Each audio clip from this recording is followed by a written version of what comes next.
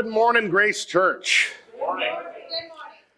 Our series right now is called Second to None, and it's a series all about Jesus. Again, if you know me at all, I really kind of get hype about Jesus. I get very excited. I get, I get thrilled to talk about him because of the impact on me personally that knowing Jesus has made. I'm a wholly different creature this side of knowing Jesus. But also because I've seen the impact that Jesus has on others, okay? I've seen it in you and the lives of, of those in this room right now, but throughout my life, I have known people who were not so wonderful human beings who on the other side of encountering Jesus and following Jesus they are remarkable human beings because Jesus was the only one who was ever perfectly human. He was all that humanity was intended to be. And as we follow him, as we center our lives on Jesus, we are able to be more fully human, more the way God designed us to be. So we're taking this uh, series of weeks to talk about Jesus. And we're focusing on the book of Colossians. This is a letter that was written to early believers in the first century world. Uh, the apostle Paul is writing to them that even though he doesn't necessarily know them face to face, he is uh, engaged with them and he has things he wants to share. And in looking into what's, what is Colossians all about? trying to check in with some other thinkers in the area. And there's a, a gentleman named uh, Simon Turpin. He's actually the executive director for the uh, UK and Europe branch of an organization called Answers in Genesis. And he wrote about Colossians and he said this God's people, in, in the context of Colossians, God's people have often fallen into tragedy because they have forgotten who he is and what he has done for them. Paul reminded the Colossians who Jesus is and what he accomplished in his death and resurrection. When we truly understand that Jesus Christ is the image of the invisible God, the firstborn over all creation, the creator of all things, the head of the church, and has reconciled all things, then we will not be deluded by erroneous arguments and philosophy. This does not mean that, oh, oh, oh if you believe in Jesus, you better make sure you don't ask questions. Okay? If you're going to believe in Jesus, you check your brain at the door and you just do as you're. That is not what Colossians communicates. That is not what, what God calls to us. That's not what I'm telling you. In fact, quite the contrary. But the fact of the matter is, if we as Christians put our hope and our confidence of our faith in anything other than Jesus, we will be swept away by the currents and the, the streams of this world. Our center must be on Jesus, not just on this idea of Jesus, but quite literally knowing him, relationally connected to him. Knowing Jesus has to be the foundation for us. If we do that, then all the philosophies, all the arguments, all the things that might otherwise trip us up or confuse us will not undo us. We can, we can stand in light of them because Jesus answers every argument. See, John, the book of John, the Apostle John tells us uh, that Jesus himself said, I am the way and the truth and the life. See, Jesus is truth. Jesus answers every question. And so that's why we're digging into here. And that's what um, uh, Simon Turpin here was saying that at its core, Colossians, the book of Colossians, is pointing God's people back to understand who Jesus is and the fact that he is in all things sufficient and he is in all things what we talked about our first week here in Colossians, preeminent of the highest order, first place. So we're going to start digging. And we're going to dig right into the text. We're going to try to move through it because um, there's a lot to get through here. As we've said, said before, what we're doing is we're asking our life groups or other small groups that are getting together to really dig in to some of the content from Colossians that we don't cover here on Sunday mornings because there's too much. I could take the rest of 2024 every Sunday and preach on Colossians and not, not hit everything. There's just so much in there. So, what we're doing is we're equipping our small group leaders with guides that have tons of questions and can help guide that discussion. So, if you feel like we're kind of glossing over some parts, that's okay. Connect in with one of these groups. Be happy to help you do that because during the week, they'll help flesh out some more of the, the content in here. But we're trying to get kind of some big picture ideas about who Jesus is, what he's done, and why he is sufficient, why he is preeminent. So, if you've got your Bibles, open to the book of Colossians. It's in your New Testament, kind of about midpoint there. It's after the, the, the gospel accounts at the beginning. And we're going to be in chapter 2. We're going to start in verse 6 of chapter 2. And here's what we read.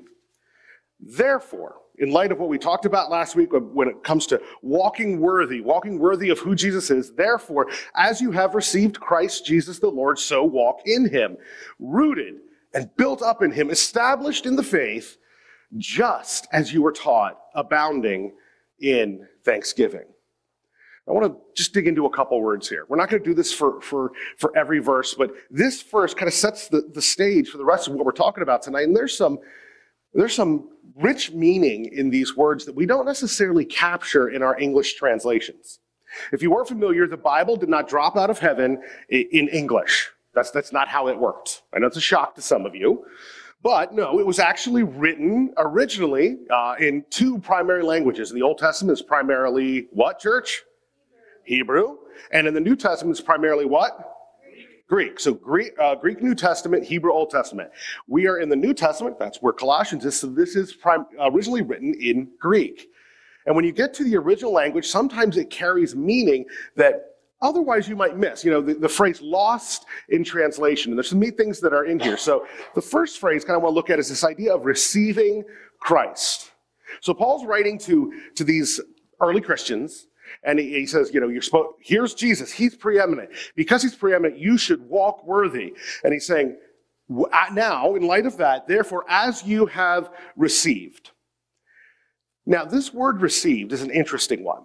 And um, here, I can give you a little graphic. This kind of shows how this word, this original word, it's uh, paralambano, paralambano, and it, it's used in several places. I think it's about 46 times in the New Testament. And we translate it here as received, but at its core, it has more a meaning of taking. Meaning it's not just, oh, yes, I got that. Like, um, I got a telephone call. Oh, I received a call. It's more the idea that I've, something has been transferred to me and I'm taking it with me. It's used in some places of like shepherds with their sheep in that they, um, when they found a sheep, they took it with them. So it's not just they received the sheep, but literally the sheep went with the shepherd. So if we get back here, this paralambano is receive, the paralambano, Christ. We've received Christ. We are taking Christ with us. Remember what we said last week? That we need to walk in a manner worthy of Christ. We need to reflect Him. We need, as we go through this life, if we're going to live like Jesus is enough, we're going to live like Jesus is preeminent, like He is supreme. Walking worthy of Him means we take Him with us. He's not somebody that we just talk about at church and see some big bearded guy on stage hop around and get excited about. We take Jesus with us. He is a companion on the journey. And then he keeps going and he says that as we receive Christ Jesus the Lord, we are again to walk in him, abide. And here, here's the neat one. It was paralambano was the word for receive. There's a little kind of word play here in the Greek. It's paralambano to take, it's peripateo to conduct or to live. So it's this kind of, he was creating a pithy saying. It was take and walk. Paralambano peripateo, parapalamo peripateo. It was this idea that it was a little phrase that they could get in their heads, these early, these early Christians, and know, I take and I walk. I take Jesus with me. I walk with Jesus. Not just in theory, not just in concept, but he is literally with me in a way that defies explanation. That we are to conduct ourselves as if we are walking Jesus uh, arm in arm through life.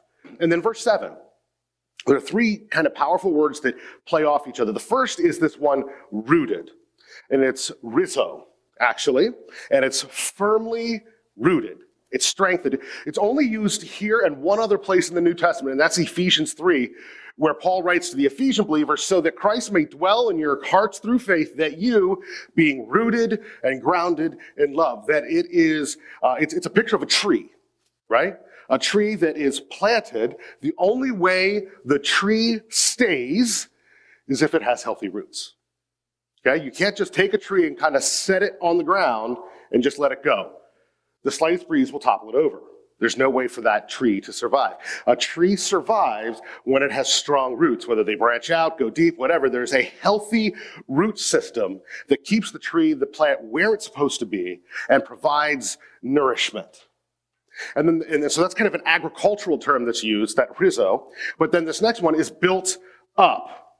And this, this is epikodomio. And it's actually from two Greek words, and I promise you, I don't usually geek out this much on the Greek. I'm not doing it for the rest of the verses, but this, these things were kind of fun and cool for me, so just bear with me for a second. It's two Greek words here. It's the word doma, which is roof, and the word oikos, which is house. And so when you put these together, it's the completion of a house. It's what it takes to make a house usable. So has anyone in here ever actually done new construction on a house? You know, where you bought a house and, you know, you were there throughout the process. It wasn't already there. You didn't buy a pre, pre-done house. You said, okay, we're going to build a house. Anybody do that? A few of you. So what if you went through that whole process? You laid the foundation, you put the walls on, put doors in, windows in, you know, got the carpet laid, everything, and never bothered to put a roof on it. How useful would that house have been? Not at all. The only way the house is complete is when it has a roof. But it takes all this structure to get up to the roof because you can't also just slap a roof on the ground and say, look, it's a house.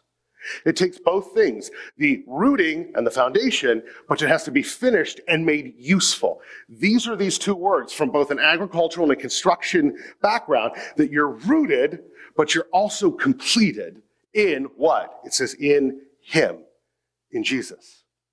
So, again, to walk in a manner worthy of Jesus truly being preeminent, of worthy, of supreme, I have to be rooted in Him and built up, finished, complete. There's nothing more I can add to it. Jesus has done the work, and I can live in Him accordingly. But then it also throws in this word, established. This is babeo, and it's a, a word of enduring. It's about being durable. Not only do you have a foundation, not only are you complete in Christ, you've got your roof on, you are good to go, but you can stand the test of time. You can be weathered. You know, it's like the pyramids. They were built up, they're strong, and they have survived for thousands and thousands of years. They are durable. They are babeo. They, are, they will last and stand the test of time. And that happens in two things. We see this in two ways. First of all, the rooted and built up is in Him, is in Jesus. So the core of my being, the core of who I've been made to be is formed fully in Jesus. But then it says established in the faith. And the way this word faith is used in combination with the next word is this, just as you were taught. The idea of taught here, especially in the Greek language or in this culture, you didn't teach yourself something. If you were taught, it absolutely requires that there would be a teacher. So the idea of being established in the faith is that you were established, you were made durable by your connection to others and how they impacted your life for your faith. So the rooting, the, the, the, building up is happening in Jesus, and the durability is being brought together through Jesus' family. If we are going to be those who walk worthy, we have to have, to have a solid connection and foundation in Him, and we must maintain a connection with God's family. We can't do it any other way. It can't be, well, I just have God, I don't need the church. We also can't go, well, I got the church, I don't really need to worry about me and God, the church will take care of that. Either one on its own is deficient. The way God has designed us is for both to be in relationship with Him and one another. And the result, what's that last word there? Thanksgiving. No, we're not talking about turkey and stuffing and yams, right? We're talking about having deep gratitude. It's an idea of contentment. I can abound with joy over the situation of my life, regardless of what's happening, because my foundation is in Jesus and my durability is rooted in my community. These are beautiful pictures that produces thanksgiving. So here, let me say it this way. I need, if I'm going to really follow Jesus, I need to take Jesus along with me and trust that he knows where I'm, where he's going. So often we say, yes, I want Jesus with me. I want, I want Jesus to take the wheel. We're familiar with that phrase, right? Jesus take the wheel. Except we want to kind of reach over and hold on to it from the passenger seat. I'm not sure, Jesus. You, you, you don't want to get off here. All right, Jesus, you're getting a little close to that guardrail. I'm just going to pull you back over a little bit. We have to take Jesus with us and trust him that he knows where he's going. And that includes with his church. So often it's like, well, yeah, I, am part of a bunch of different uh, groups and communities on, uh, on social media, various places. And it's funny when I hear people talking about church, it's, oh yeah, my church is great. This is wonderful. I love this. And they'll go, but this church made a decision I didn't like. So I decided to go somewhere else. I decided to stop going to church. So I don't even know if God's real because this church did that. See, the problem is we have to trust that God works in me and in his church. We have to trust the process as well. When we think that connection to a church, to a faith community, is only always ever going to feel good and happy, we have a misconception about how humanity works because this can be hard to believe. At least one or two of you in this room is a sinner. I know. It's hard to believe. It's hard. But you know what? I'll go a step further. Every single one of you is a sinner, just like me. When you get a bunch of sinful people, even when they're redeemed, even when Christ has entered their lives and given them forgiveness and restoration, the vestiges of sin still hold on. And as a result, when sinful people are together in the same room, guess what happens? Sin happens. So we're going to bump into each other. Things aren't always going to feel great. But the fact of the matter is, Jesus Christ bought us. He paid for your sins and mine and has called us together to walk with one another in grace and mercy and forgiveness and humility and compassion. Guys, we got to be together in it. That doesn't mean that just because one of your elders, myself, someone, the church is infallible. I'm not saying that. There needs to be accountability. There, we, we have to have a standard, God's word that we live by. But we have to be willing to do the hard work and to not always get our way because that is how that that durability, right, the being established, that's how it happens. Through time together, working through these things. I need to trust Jesus to have the wheel, and I need to trust the other people he's invited along for the ride. That's what it means to follow after Jesus. If I'm going to follow Jesus, I need to do this. Well, let's look what else. That was just a couple verses in chapter 2. Let's keep going. Let's look at verse 8. Paul continues to talk. He says, See to it now that no one takes you captive. Has anyone in here ever been taken captive?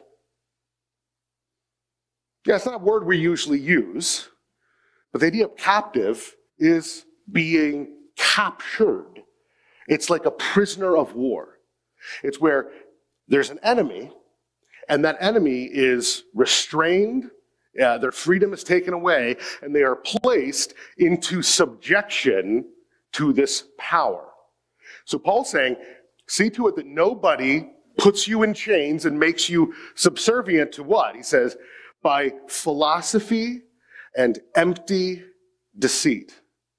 These are the ideas of kind of hidden knowledge. In the first century world, there was a, a thought system at play called Gnosticism which itself is based off the Greek word gnosis, which is the word for knowledge. And these uh, kind of religions, whether they were actual religious or more like secular philosophies, they, they had this idea that there was secret hidden knowledge. And only the enlightened had access to it.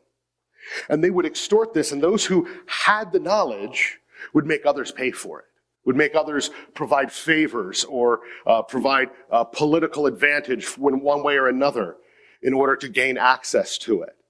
It was, oh, that might be true, but I know the secret.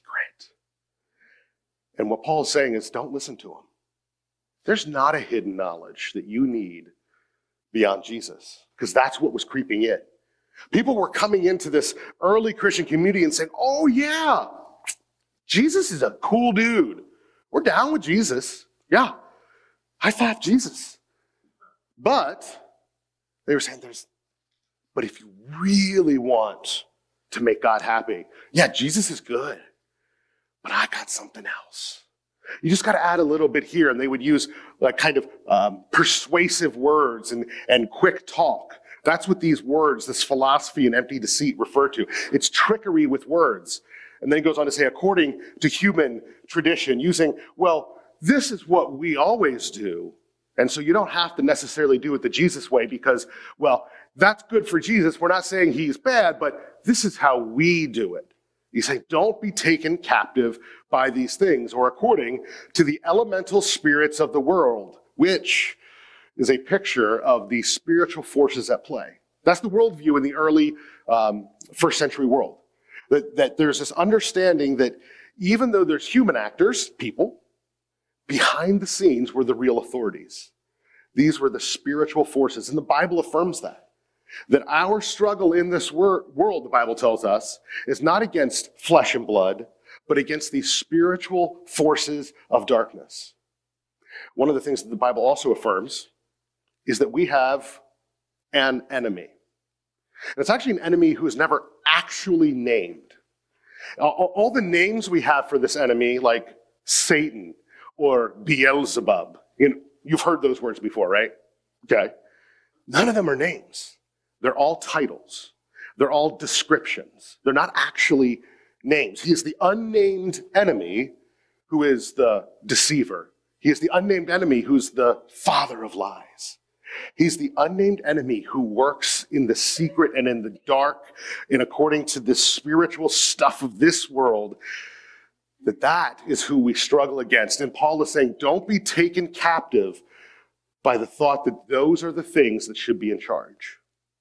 See, these people who had these philosophies of the day, these people who had the secret knowledge would be, ah, yes, I can tell you the secrets of the spiritual world.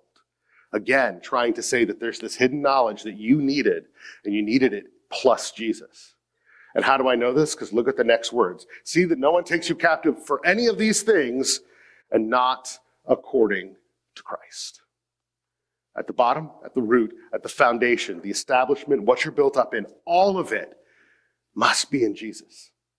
We have to understand who Jesus is and what he's done so that we will not be deluded by these philosophies or arguments which are deceptive. But again, I want to say this. We must use our brains we should learn about our faith. We should learn how do we answer some of these tough questions? Have you ever taken the time to really wrestle with some of those big questions, those big objections? If someone came up to you and said, Yeah, I know you're one of those church people. I could never do that. Oh, well, why not? Well, how can God be good and there still be so much evil in the world? Now, you might be tempted to throw a nice little trite, churchy answer at that. I know that's kind of how I responded for such a long time. But the fact of the matter is that takes deep thought. That takes understanding who God is, not just the data about him, but the goodness of God that can only be known by knowing him and being with him and spending time with him, knowing his heart. Yeah, that's what you need if you're going to truly answer that question but you have to think about it. You have to spend that time with him. You have to read stuff. You have to listen to other really smart people, people way smarter than me. I know it's a small bar, but still, people way smarter than me. Because it's important that we engage our brains because God is a God of truth. And those questions are important. And I would suggest that there are answers, there are responses to these big questions. We do not need to fear them. We do not need to run from them. Because quite frankly, if God cannot provide answers, if, if God's character and nature and revelation is not sufficient, if God is scared of these questions, I'd suggest he's not God. But what I know of reading his word, what I know having walked with him, is that he is not scared of any question this world can throw at him. Now, we might not always be fully satisfied with the answers, but that's part of this being taught, that's part of this growing up, having roots deep and taking in that nutrients, is getting to know him and getting to learn these answers. Because who is Jesus? What does it say here? For in him, in Jesus, verse 9, the whole fullness of deity dwells bodily. The divine took on flesh. Who is God? What is God like? What would God do? All of those questions are answered in the person of Jesus. Jesus is the exact image of who God is. That is why we can look at him and know, I should do what Jesus does. I should think what Jesus thinks. I, that's what I need to do. And that will give me the purpose and answers for this life because the whole fullness of deity dwells in him. And it says, for those of us who have followed him, the rest of here in verse 10, it says, and you have been filled in him. We have our fulfillment. We have our answers. We have our being in the one in whom the fullness of deity dwells. It is the transference of God's divine energy and essence into us through Christ. And we'll see because a word that we looked at um, last week comes back this week. Again, one of those kind of fun Greek words.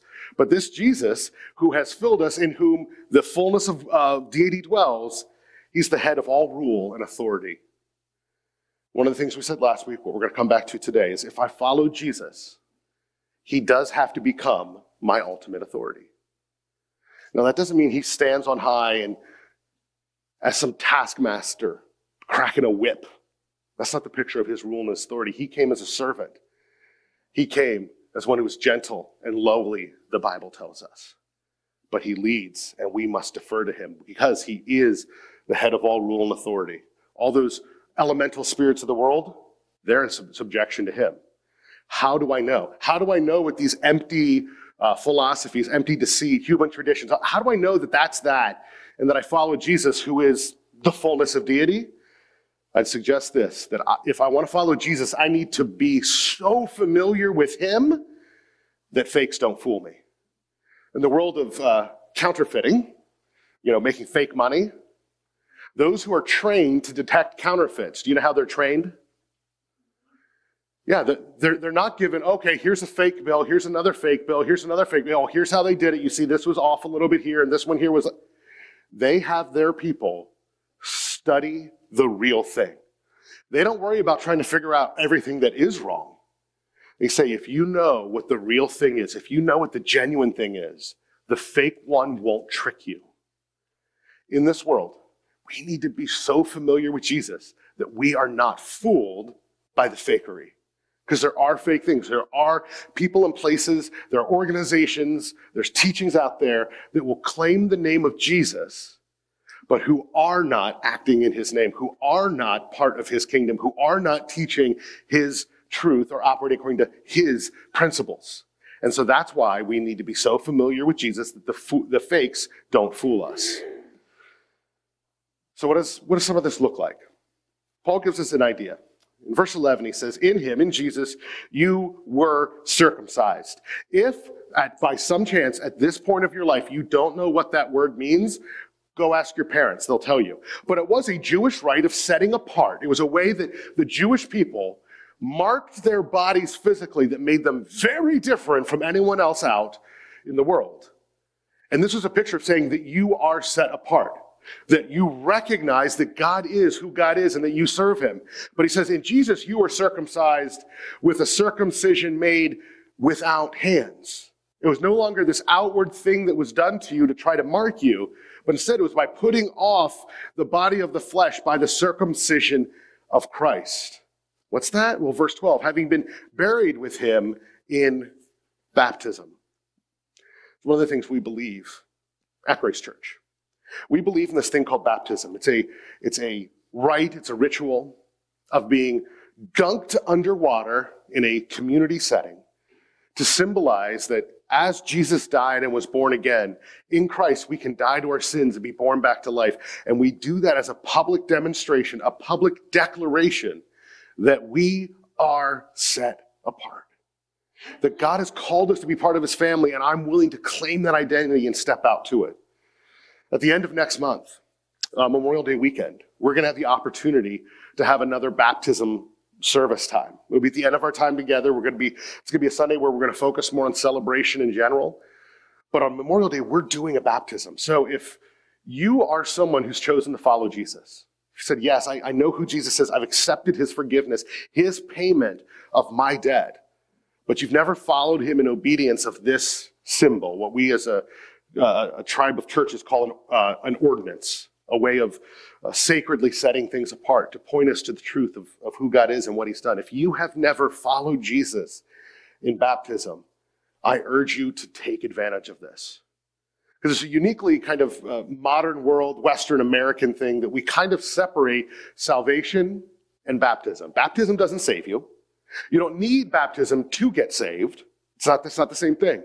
But if you look at baptism in the Bible, we see several places where this happens, people will say, I trust Jesus for my life, and immediately they're baptized. There's no, let's get ready. There's no, oh, hey, let's uh, take a few classes, or let me take a few years to get closer to Jesus. Every time in Scripture where we see someone baptized, it's connected with their very recent belief in Jesus. So I encourage you, if you've chosen to follow Jesus with your life, if you're trusting Him with your eternity, I would ask that you be willing to trust in His call in our lives to get a little bit wet. And we're going to have that opportunity here at the end of May. All right? But that's what we've been, that's what this text says, that we've been marked in that way. We've been set apart. That this baptism in which you were also raised with him through faith in what? So it's not the baptism that does it. It's through faith in what? The powerful working of God. This word, this is energia. It's the same word that we, we read in Colossians 1.29 last week, where it says, For this I toil, struggling with all his energy that he powerfully works within me. That the very energy I have access to is the work that he does. The very work that I do is energized by him, and that that powerful working, that's what I have faith in. Not in my ability, not even in a symbol of baptism. I have faith in God's power because it is God who raised Jesus from the dead by this power. So if I want to live this life where Jesus gets to drive the drive the car where he gets to be the one that I take with me that I that I make much about if I if I want to live this way I need to be beautifully different I need to be like Jesus I need to be set apart just like baptism is that outward symbol to declare to the world I follow Jesus I need with my life to be beautifully different we shouldn't be those that the world looks at and says man they're just so weird I don't want to be around them. That, that's not what the world should say. The world should look at those who have followed Jesus and be like, they're different. I don't get it, but I think it's good. People should look at the lives of those who follow Jesus and say, those are people that love hard. Those are people that'll give you the shirt off their back. Those are people who always make time for other people. Those are the people that, man, they're just nice to us. We need to be beautifully different living like Jesus. Jesus was the one in whom the fullness of deity dwelt bodily, and he calls us to imitate him. Paul says in 1 Corinthians 11, he says, imitate me to his church, but not because Paul was awesome. He says, imitate me as I imitate Christ. Our lives should reflect Jesus. We should be beautifully different like Jesus we should live like Jesus. But if we keep reading into verse 13, he kind of tells us why. What's the point? He says, Well, and you who were dead in your trespasses and the uncircumcision of your flesh, bringing that back in. He's saying, You weren't of value. You weren't set apart for God. In fact, you were dead in your trespasses, which is sin, wrongdoing. Here's the thing how much do dead people do? Not much. I don't know about you, but I don't see a whole lot of work getting done in graveyards, right? You're dead. You're dead. You can't do anything. You have nothing to offer at that point. So when we were dead in our trespasses, you know what we had to offer God at that point? Nothing. There was nothing we had that could we could go to God and say, "Hey, I'm worth it. You, sh- you should you should give nice things to me." We had nothing to offer because our sin was so deep. Our wrongdoing so offensive. Because we weren't the loving creatures that God made us to be. But even though we were dead even though we were uncircumcised in our flesh, that we were not set apart. It says, even though that, God made you alive together with him.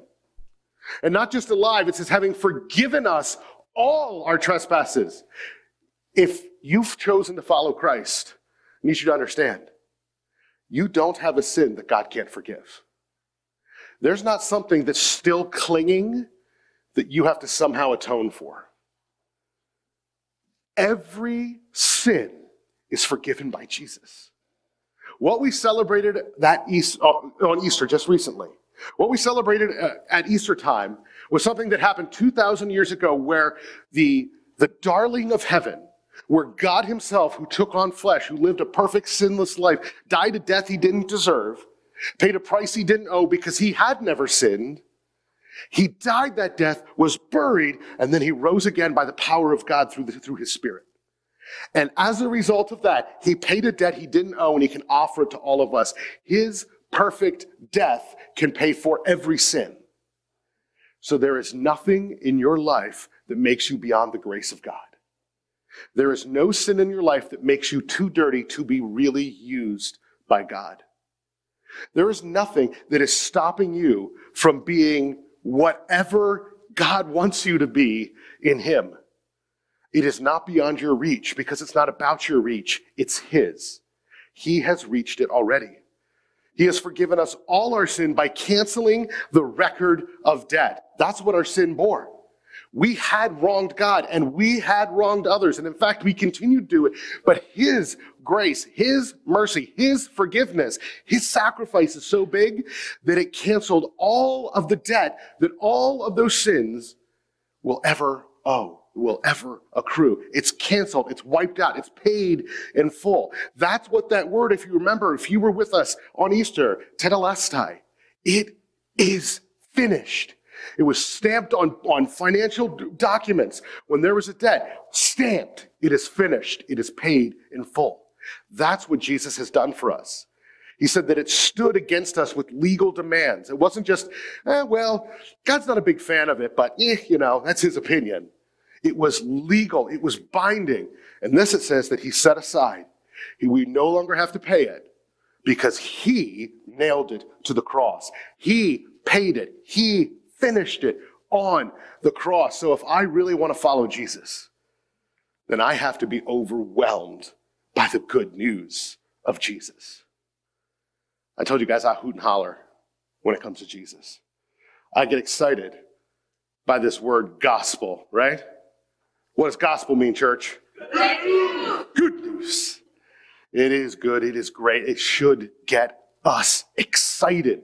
I need to be overwhelmed. Because if I'm underwhelmed by the gospel, it means I'm underwhelmed by Jesus.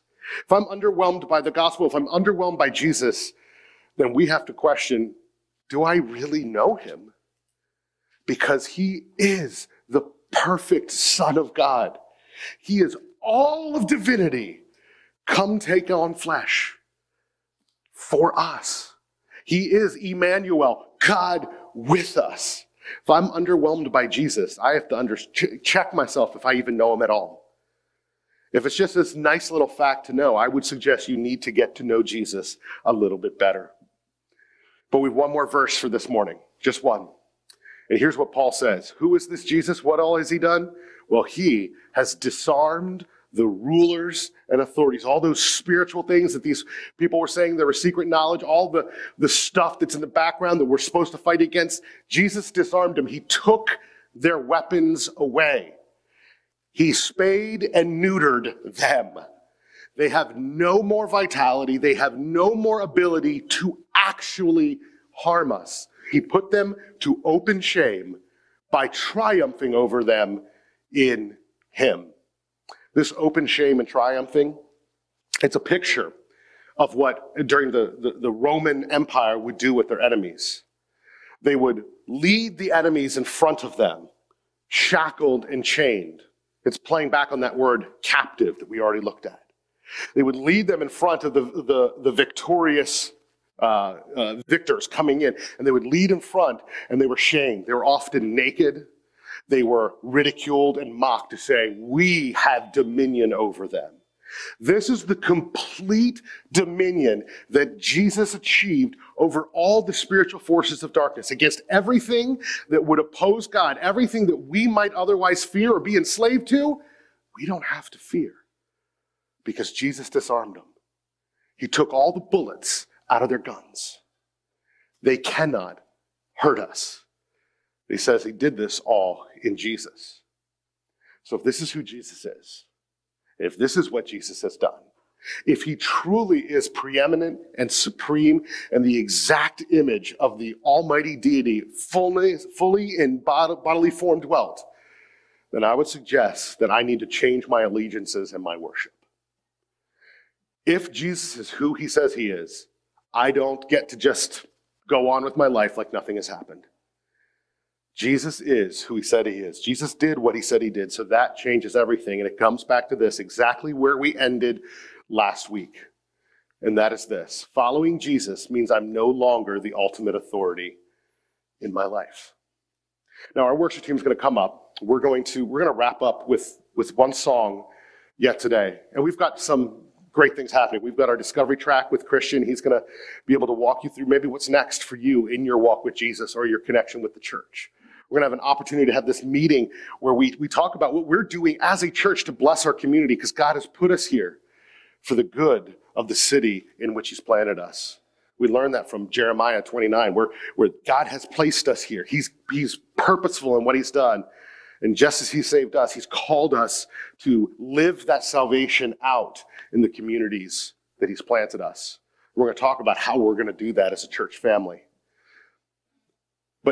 The only way that makes sense is if I'm not the boss. Because you know what? There are a lot of things that if I were in charge, I wouldn't do. I'm just going to be honest. There are things that following Jesus entails that I am not naturally inclined towards. I can be not nice. It's hard to believe. All of you are all naturally just super nice, okay? I get that. But me, it's easy to become frustrated with someone and then let them know why they've made me frustrated. It's easy for me to insist that my opinion matters more than everyone else's in this world. It's easy for me to make sure that I take care of me first. And maybe if someone else earns it, I give them something nice with what's left over. Those are the things that are easy, that are natural. And I would suggest that for most of us, that's our easy natural. We think about ourselves first. But Jesus says that we are to deny ourselves daily, take up our cross and follow him, which means this world transfers from being what's most important. This world, meaning these systems, these cultures, the, the idea that everybody takes care of themselves first, that becomes subservient to the one who actually served everyone. Jesus is in the work of putting things back together, of restoring and redeeming what humanity broke. And he says, if, if you are part of my family, you will participate in that ministry. It's called the ministry of reconciliation. We read about that in Second Corinthians. We are called to be ambassadors for Christ for the sake of declaring Jesus in this world and living Jesus in this world. And that's what we're invited to do. That's why we're doing this fun day in the park because the people who make up Ephrata bear the image of God. And we do it on a Sunday because most likely those who are running around a park at 10 a.m. on a Sunday aren't connected to a church. They're the ones who need the gospel of Jesus Christ. So we will let them know that they matter. We will pour into them and say, God loves you. Because God loves us so we can love Him, and God loves us so we can love others.